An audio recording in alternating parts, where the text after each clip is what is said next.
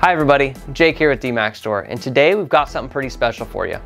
We've got Fingers Duramax Oval Bowl Pistons. Now this is something that you don't see every day, as normally they are a custom order product.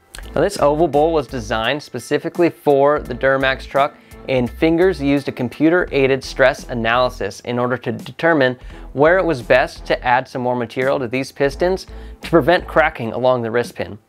Cracking along the wrist pin is actually pretty common on these Duramax trucks. If you see a cracked piston in a Duramax, 99 out of 100 times, it's gonna be along that wrist pin. Here we have an LBZ piston and it has a massive crack right down the center.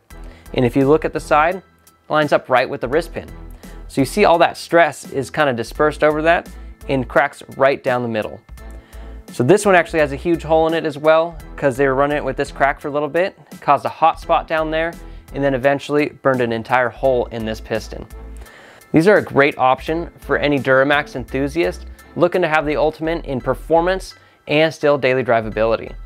When you've got a forged set of pistons, you have to set the ring gap a lot larger, so you're gonna have a lot bigger piston to wall clearance, and ultimately, not the best for daily driving.